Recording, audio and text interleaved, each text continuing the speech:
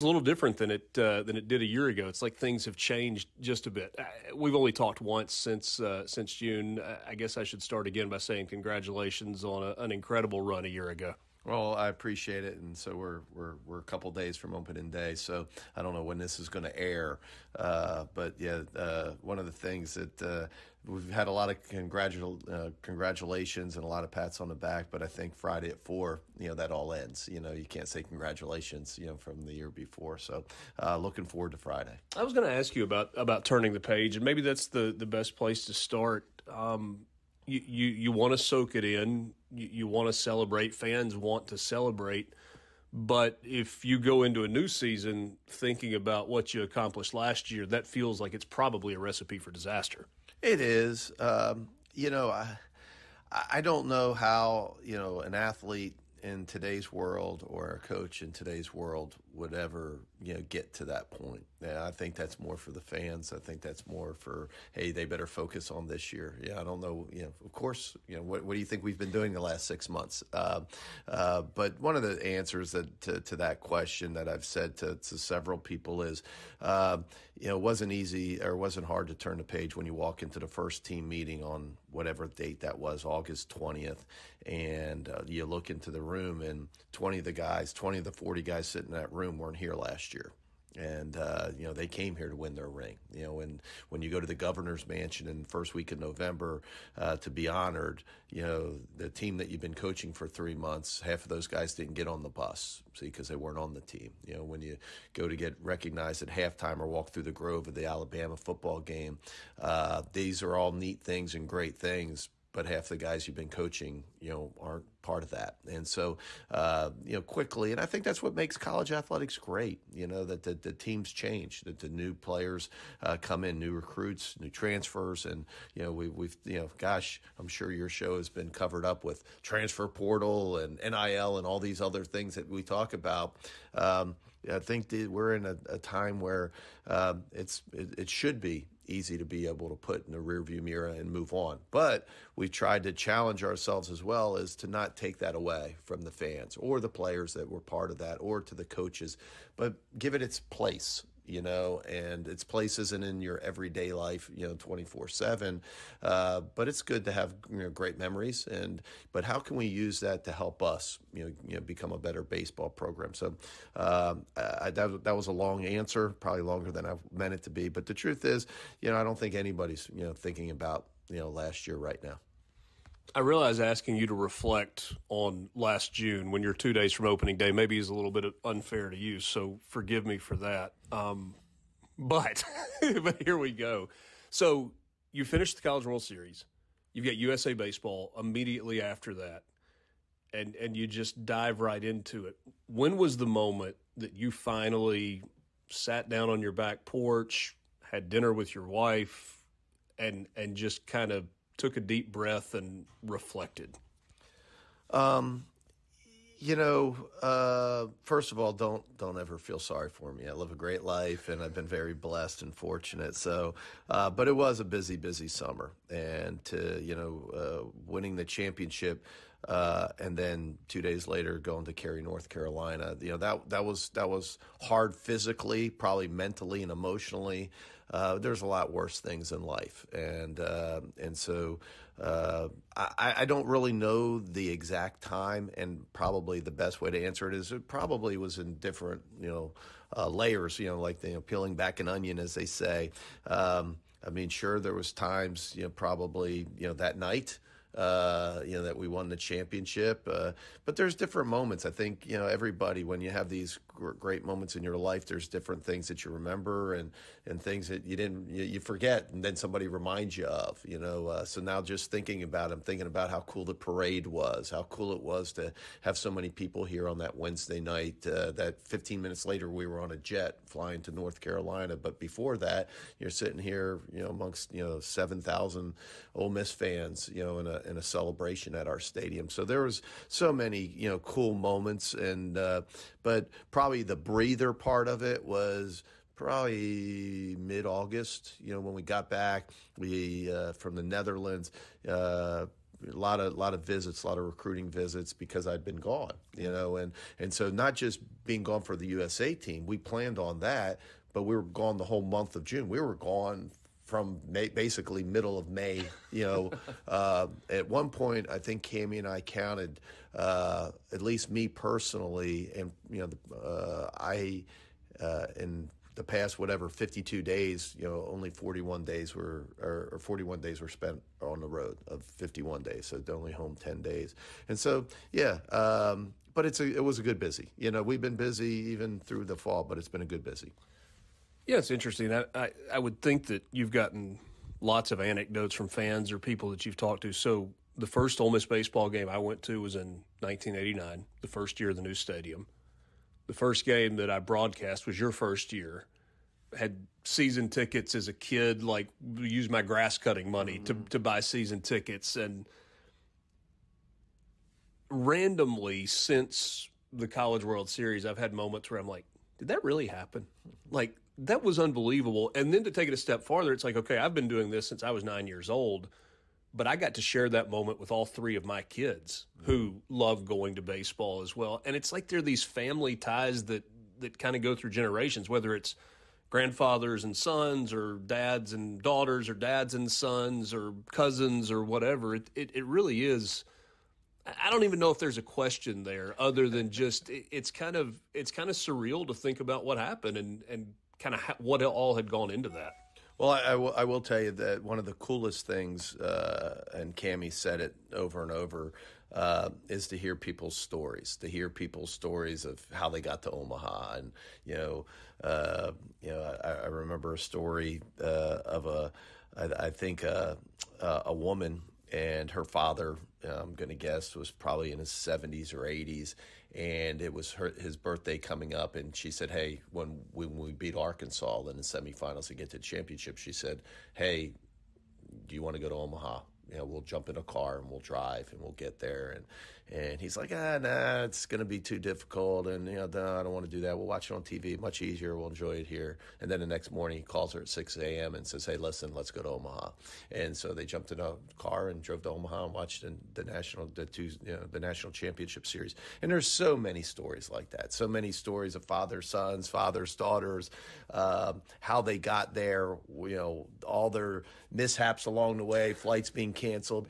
Uh, it's it's really it's been really cool to hear all the people reminiscing about you know their experiences. And I, and I think that was one of the things when people said hey did you know winning that did, did what you know emotions anything different? I, I, think that's one part of it is just you know listening to everybody how much you know it meant to everybody uh, and hearing their journey you know along the way. So that's been really cool. And and then there were stories even within your team like TJ McCants, whose mother hangs on for dear life to be able to see her son and, and said, You're going to play in Omaha. And then she got to see that. Yeah, you know, uh, uh, for yeah, your listeners don't, don't, realize, you know, TJ's mom was diagnosed with cancer a couple years ago when he was a freshman, towards the end of his uh, freshman year. Uh, there was a time last year during the season that they didn't think she would make it. She came up here basically to say goodbye to him uh, and couldn't make it through the weekend. And uh, he flew home that week uh, to be with her and then flew back uh, the next weekend to meet us in Arkansas. I think in his very first at bat, he hit a home run at, uh, at Arkansas on the road.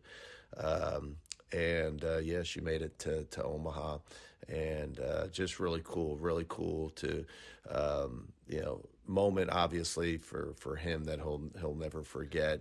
But I mean, uh, you start to realize that you know, even though we won a championship, and you know uh, how many cool things that at the end of the day, it's just a baseball game. Mike, is that the and and we'll kind of turn the page after this to to this year's team. Is that the thing that maybe fans lose sight of? Is the the family piece that goes in with being part of a team and having guys around you that can kind of help you through the bad times in addition to being able to celebrate the good times? Wow. Tough, deep question. Um, I think my answer would be probably some fans. You know, they, they want to win so much, and you know, you're kind of oblivious to all the work and all the things, all the blood, sweat, and tears that go into it. Uh, maybe, maybe to some people, but you know, um, I, I, don't think the majority. You know, I think the majority uh, appreciates. They appreciate these kids. They appreciate how hard they work. They appreciate the coaches. Uh, they appreciate the grounds crew and everything that goes into making a baseball game. Yeah, there's there's always going to be that uh, uh, segment, you know, that uh, you know just uh, you know tend to be miserable, you know, and uh, you know, but that's in everyday life, isn't it? Yeah. I mean, uh, and and that's unfortunate. But I I think most people realize, you know, that these are regular kids. They go to class. They um, they they have tough things. They they have moms die of cancer. They have parents that the divorce. They break up with their girlfriend, you know, two hours before a game. Uh, um, they're regular people. You know, uh, the coaches are regular people, and uh, you know, uh, but I think I, I think in my heart, I could be wrong. I think most people get that with Mike Bianco, head baseball coach at Ole Miss, as we uh, get set for the start of the 2023 season. So, no more questions about last year, or at least for now. Um, so, turning the page to this team, uh, there are familiar faces that are coming back, maybe even more than people realize, but a lot of new faces that are, are rolling in as well as you begin kind of the start of a new journey. What What is the message to your team? You, you kind of go with a theme each year. Uh, so, maybe let's start there, kind of what you're doing theme wise with this team. Um, you know, what we, uh, as we talked about it, just going into the fall, you know, how, how do we use, you know, the, this championship uh, to better us, you know, not with pats on the back to feel good, but how do we, how do we use it recruiting wise? How do we use it, you know, uh, you know, with this, this existing team and so on. So there's a lot of different ideas and not to get, you know, too much into the weeds and, you know, a lot that I probably don't want to share on the air. Um, but one of the things that I thought was important uh, because this is a good mix. This is a good mix of returners. We return five of the starting nine in Omaha. Uh, we, we, return uh, several pieces, you know, on the mound. Uh, but then you also welcome in the number two ranked recruiting class. You welcome in, you know, three or four transfers that I think will impact the program immediately. And uh, all of those things are good but let's not lose sight you know, of our foundation and who, who we are and, and how we got here. Um, and so, you know, we talked a lot about, you know, our core covenants, but uh, which is, you know, REBS being relentless, excellence, belief, and selfless.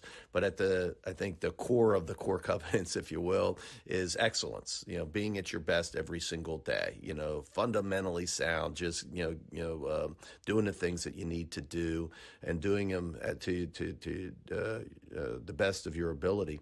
And uh, so the uh, book that we read over the break was a book that we kind of recycled. We read it a few years ago called The Compound Effect. It's it's actually a kind of a self improvement book by Darren Hardy, who was uh, the longtime editor of Success Magazine. And uh, for those that, that, you know read uh, or you know looking for a good kind of self-help book. It's really it's not for athletes it's for everybody. It's really you know for you know business people. But uh, it's just really i think black and white how to be successful in anything. If you're trying to lose weight if you're trying to make money if you're trying to uh, be a good athlete. And um, and so that that was kind of the uh, the theme i think all fall and going into the spring is just trying to be the very best that you can be every single day.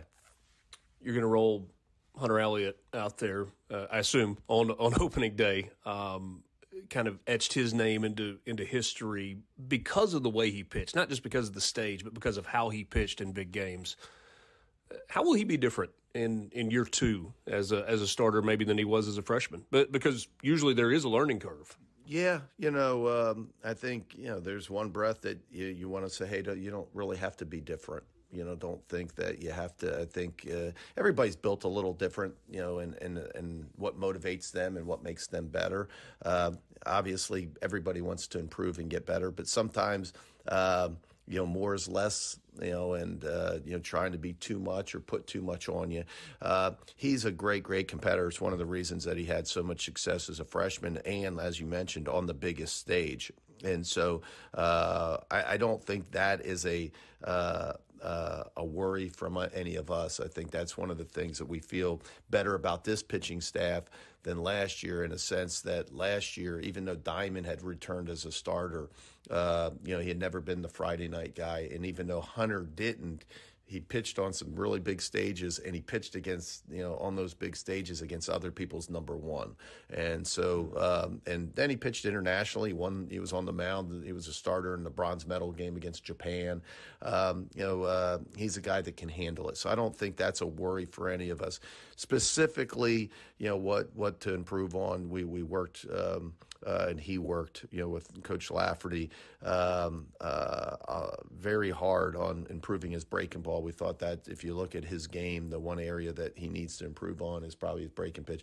Got an outstanding fastball, outstanding changeup, um, uh, but probably an average breaking ball at best, you know. Uh, and so, uh, kind of combined both the slider and the curve to to be more of just a slider, and I think that'll help him, you know, against left-handed hitters this year. And and so, specifically, if you're getting to the nuts and bolts, that that's it. Uh, the other thing is for all the guys, not just Hunter is how do you accept that leadership role? How do you accept, uh, you know, it wasn't a secret that, you know, we had the success last year only because we had great leaders. And uh, now it's time for those those batons from Bench and Elko and Graham and Diamond and Chofi and all the guys last year that held it together uh, hand it to a new crew of guys, guys like Elliott and uh, Dougherty and you know, Gonzalez and Harris and Alderman and you know, McCants and all those guys that you know didn't really have to play that role last year. They just had to be you know better baseball players. Now they they got to be better ba- baseball players that are leaders. What about this pitching staff as a whole? Um, you've got a, a, freshman that that people are raving about in, in Grayson Saunier, a transfer in Xavier Rivas that maybe people haven't seen before, or don't know about if they haven't been to practices or, or fall ball or any of those things, but but just kind of the staff as a whole. You know, we, we feel good about it. You know, it's it's not one of those staffs where we woke up, you know, a few years ago in 2021 where you re- returned to Casey and Hoglund and two SEC starters that were dominant, two guys that you know probably are going to be first or second rounders. You know when when June comes along, along with a, a guy that pitched as a freshman and Derek Diamond and you know Taylor Broadway in the bullpen and some pieces that were kind of already set, and you're just trying to find you know the pieces that connect to them. Yeah, this this a little more in depth, but I don't think as much as last year. I think last year, you know, there was a there was you know even though we felt like we had some talent in on, on the staff, we just didn't know where those pieces you know would fall, and so we just entered the the the, the spring uh, hoping you know that some guys would accept some roles and, and do well, and um, and I think we got fooled a little bit. Not so much. Uh, once we got through, we won our first nine games last year, but you know, and we ten run ruled. I think five of our first seven games, or four of our first six games. Uh, so we were feeling probably pretty good about ourselves. Um, but we knew in this office that you know we we weren't pitching as dominantly as we needed to you know, once conference play started, and you know, and you know that that. Uh, uh, reared its ugly head pretty quickly, you know, in conference that, you know, we were going to struggle on the mound. And once that went, you know, uh, we didn't hit it as well either. Um, and so I think we feel better about the pieces of this, this, this team on the mound. And last year's team, uh, and I say this, you know, in the office because people forget because we talk, you know, we beat up last year's pitching staff. It just took us a long time to figure it out. Yeah. Once we figured it out, we were pretty good and you know, you know, we realized that you know we ended up fourth in the conference in pitching. If you're in the top four in the SEC in pitching, you're pretty good. And so now it took us you know 60 games to figure that out, but once we figured it out, we're pretty good. So hopefully we'll figure it out a little quicker this year. It might save a little heartburn along the way. Um, visiting with Mike Bianco, Jacob Gonzalez. So he has the the freshman All American season. He was good a year ago. Numbers were down a little bit he had that stretch in the postseason where it's like he just couldn't find a hit, and then at the very end, he comes up with these just massive hits, you know, one after another, and he gets. I guess there was a home run that was mixed in there as well. Uh, what do you say about him in this line of shortstops that you've had that have been so good? Now in his third year, he's been an everyday starter since he stepped on campus. Well, he's a superstar, and uh, and, you know, really the only number that was down last year was his batting average. He hit about mm-hmm. 270, but he, he, hit 18 or 19 home runs. Um, he walked like 20 or 30 more times than he struck out. Um, uh, I think he ended up making like 12 or 14 errors, but he may have made three errors in Omaha. And so, like, you know, you're talking about a guy that made around 10 errors at shortstop at, you know, a very difficult position. Um, that's why he's, by most, you know, major league, you know, draft prognosticators, he's picked in the top five of you know uh, the guys that are going to be selected, you know, in the major league draft this summer. So with all that being said, uh, he's a star and uh, you know I think cut out of the mold of a lot of the other great ones, Cozart and Kessinger and Robinson and a lot of guys that you know Servideo. Um, uh, he would hold his own against any of those, but uh, um, yeah, a guy that's uh, I think just a, a, superstar and has showed it you know throughout not just his two years here. I mean he's been a shortstop for the USA national team you know for two years in a row. Um, just uh, just really good, you know, just a really good defender. Um, uh, and just an excellent hitter, a kid that will hit for power, uh, will hit for average. Um, just, uh, I'm glad he's wearing our uniform. There's some changes to the rules this year in, in college baseball. And yesterday on the show, we, we went through some of these. I know you've talked about them a, a, little bit, but with, with clocks, right? I mean, we're not used to seeing clocks in baseball other than maybe on top of the scoreboard, and it's one of those big, pretty clocks. Um, there's been a clock on the, the outfield wall for a few years that's largely been ignored, but this seems to be a point of emphasis. Pitch clock, uh, pitching change clock, you know, 30 seconds here, 20 seconds here, two and a half minutes here. Give us kind of your overview. Is this a big deal? How's it going to affect the game? Is it going to be a, a positive effect, net positive long term? Well, just one, I guess, in general, so fans can just take a deep breath the the whole goal for the NCAA, which I agree, is and they've been pushing this for for a long time uh, because of TV, because of fans, supposedly uh, that they want to make the game faster. You know, they they they they cringe at a four hour baseball game or a three and three hour and forty two minute baseball game.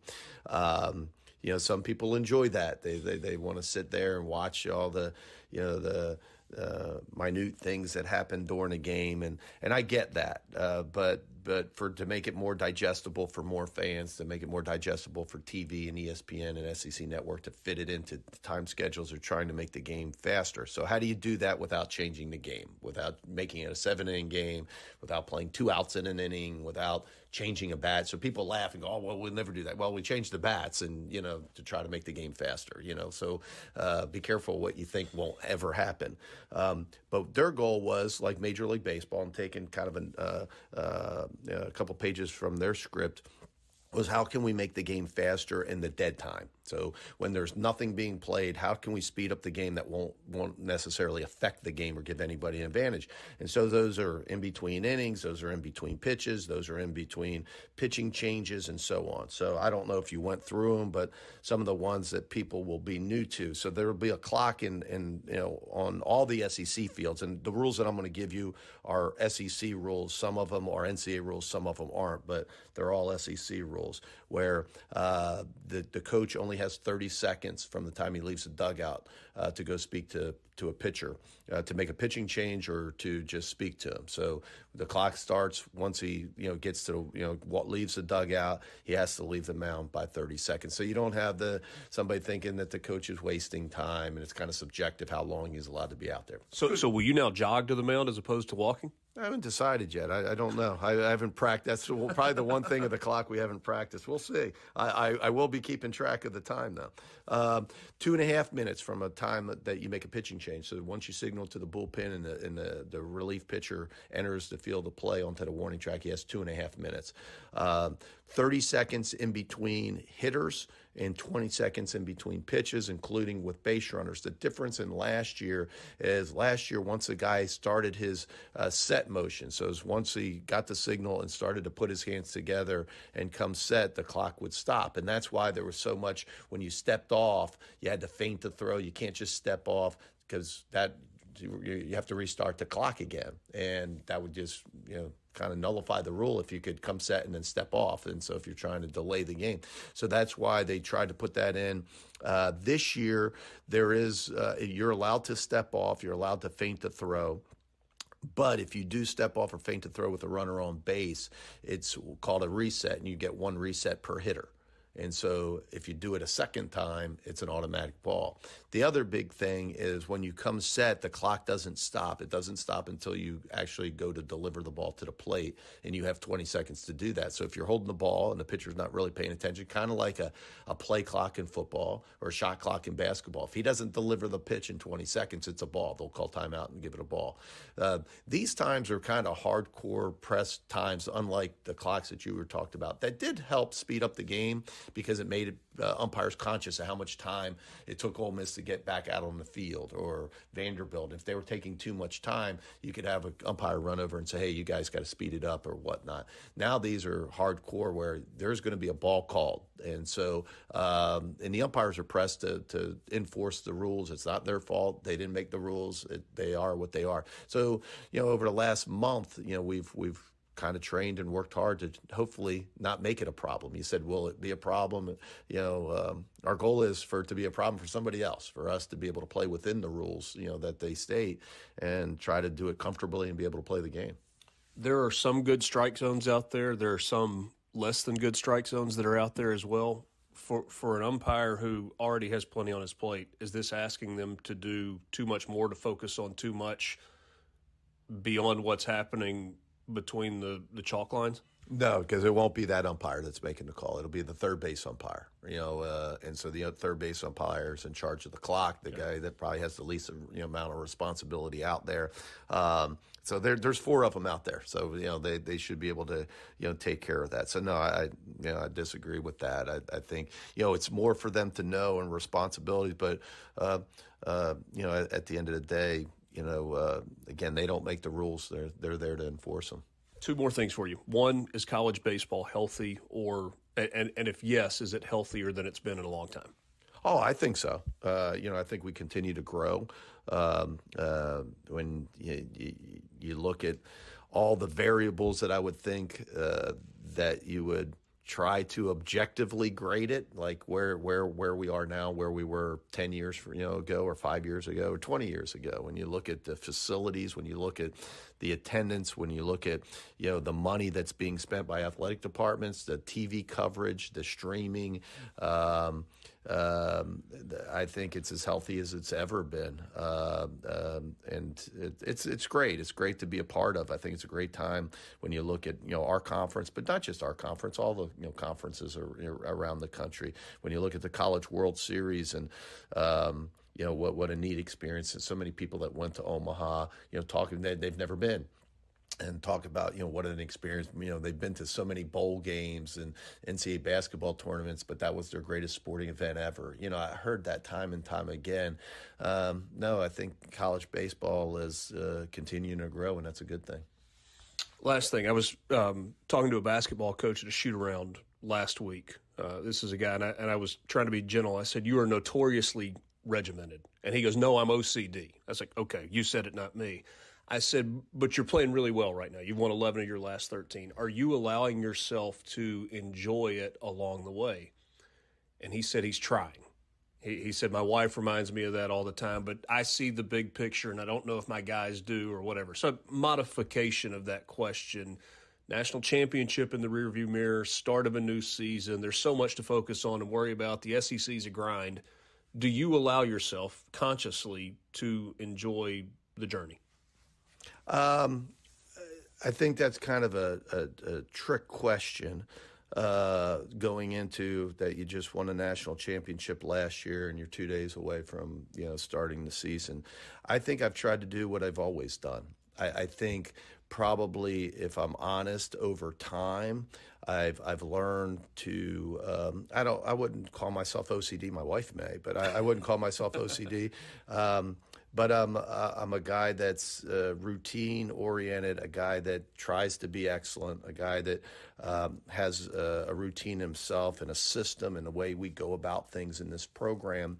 And everybody in you know this office, everybody in that locker room understands that and thinks that's the reason that we have success. It's been really, I think, my job individually, personally, to decide what things matter and what things don't you know what things are going to help us win uh, and what things you know control what you can control right? Uh, worry about the things that you know that are going to matter and help us win. The other things try to let slide. That's hard for people that are built like me and maybe that coach but i think as you get older you get wiser and you start to realize that. So it's not caring less it's caring less about the things that don't matter mm-hmm. you know and and that's where everybody thinks hey you know the, the coaches are getting old you know that, that coach is getting older and he's getting you know easier on the team or you know he's changing his ways. He's probably getting wiser to the things that you know don't matter as much. So i'm going to let that slide. I think that's part what everybody does, not just coaches, but adults and you know grandfathers and you know everybody starts to realize what's really important and what's not. So I don't think it's hey, did I enjoy? I, enjoyed coaching when I was thirty. Um, uh, but a lot more things bothered me probably when I was 30 than they bother me now. Thanks so much for your time.